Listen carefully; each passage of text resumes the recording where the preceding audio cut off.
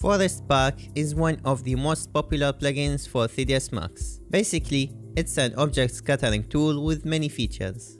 But at the end of the day, most of us only want to scatter some trees in our scenes. So, is it really worth it to buy Forest Pack? Or there is a free way to achieve similar results? Let's find out.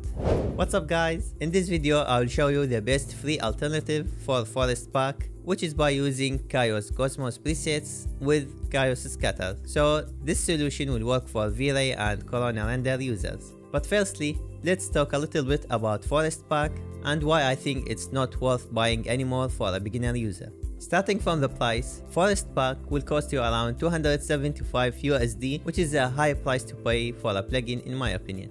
And then you need to pay an extra $70 a year for maintenance plan if you want to upgrade the plugin in the future. They do offer a free version of Forest Pack, but it's very limited and don't worth the hassle. Now let's talk about the solution, but before that, don't forget to like this video. Okay, we will create this scene. It's a simple scene. We will scatter some grass, some bushes, some trees, people, and cars. Let's start with the grass. Select the area you want. Then we have to open Chaos Cosmos from the V-Ray toolbar. If you couldn't find the V-Ray toolbar, you can right click here, any empty area, and select V-Ray toolbar. Or from the V-Ray tab up here, you can select V-Ray and open Chaos Cosmos. Okay, let's open Cosmos browser. And here from Cosmos browser, let's go to presets here you will find basic presets for scattering grass, trees, etc. To download any presets, just hover here to this icon and press download. After downloading it, you will get this blue icon to indicate that you can use it in your scene. Okay, so I've already downloaded the glass presets and I've already selected the spline. So I'm just going to press import. So now as you can see, we got the glass. also here we have the glass mesh you don't need to delete them or uh, move them or anything they will not appear in your render so don't worry about them now let's scatter uh, another type of glass. I'll select the second area. I will scatter this one. Now let's make a test render. Okay and that's it for the glass. Let's make some bushes. So i will select the spline. I will open Cosmos browser again and I will select this one. Now let's scatter some trees, trees along this line, this one. And uh, as I mentioned before, don't worry about these trees, they will not show on your final render. We'll scatter also some bushes, so this type. Now for the big area here, we'll scatter trees. So I'll select it and I'll I'll choose this type okay so you get the idea just select the spline you want and choose from the presets okay so far we have scattered grass bushes trees. Now let's move on to the rest of the scene. Let's scatter people. I will select the spline the path and then from Chaos Cosmos we can import these walking people. If you want to change the preview for the Chaos scatter select it and go to viewport display and change the preview type to let's say point cloud or in this case I will choose full and also this is the same thing for the trees etc I will scatter some palm trees here. Okay, so let's make a test render. Okay, so far we've got this result. So now let's move on to scatter the cars, which is the tricky one. I don't have any presets for cars, so I will have to download some uh, vehicles from 3D model. To import any car, uh, you can simply drag it and drop it to the scene. Got this one, drag and drop. Okay, I think that should do it. Now let's select the path and from the V-Ray toolbar, let's create Chaos Scatter. Now let's go to modify. Okay, so basically if you ever use the forest pack or multi-scatter or any other uh, scattering plugin, you will find chaos scatter very similar to them.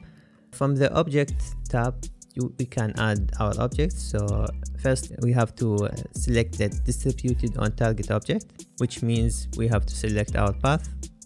Here we have to select the instance model objects. So in this example, our cars.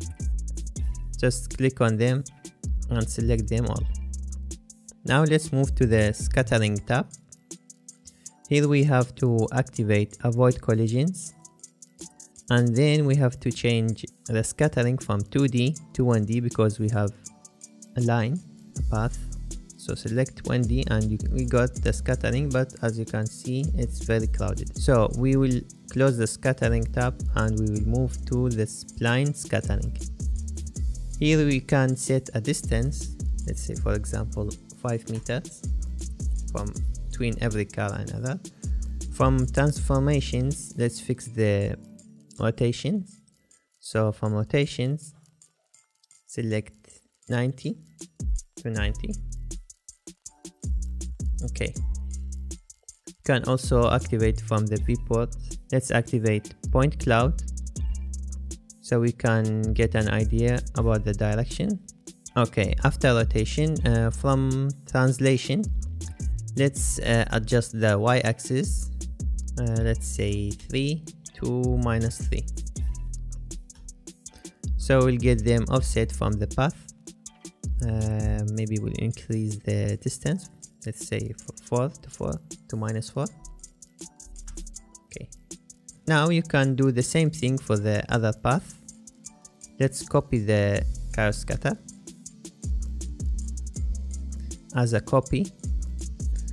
And I'm only going to change the objects so I will remove the spline and I will add this spline.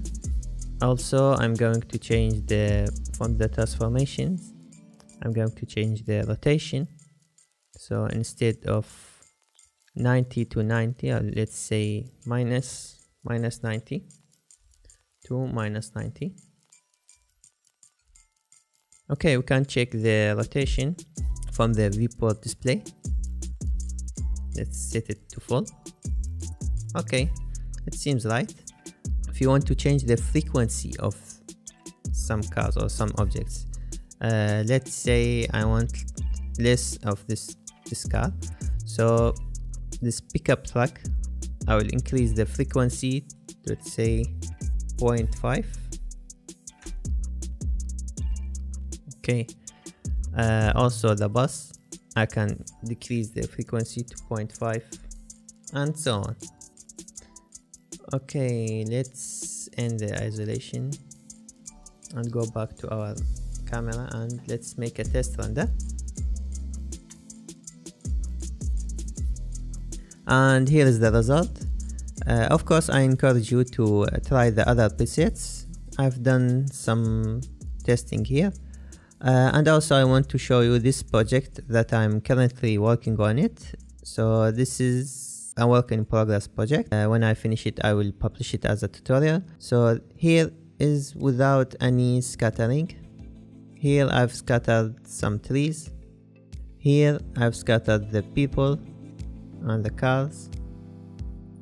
Here I've tried to uh, scatter trees here is another preset and all of this is using the presets uh, of course you can change the trees uh, with another high quality trees. I've done it here. I've changed the trees. This is not the default trees. Uh, here I use the palm trees presets and here I've used the mixed presets to get this result. That's it for this video. I hope you have found it useful. If so share it with your friends maybe they will find it useful too. See you in the next video. Bye